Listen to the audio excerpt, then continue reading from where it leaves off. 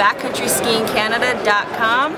I'm going to show you a little bit about Salomon's new backcountry binding called the Guardian.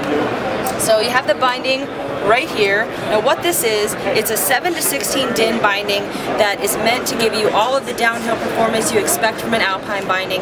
However, now you have the possibility to access all new terrain with our touring system.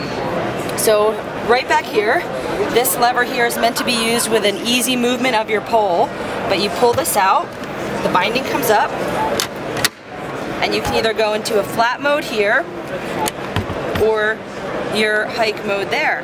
And the deal with this binding is that it's much lower than other backcountry bindings on the market.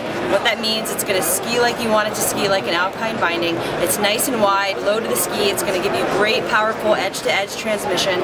It's everything you'd expect from a Salomon performance binding and more.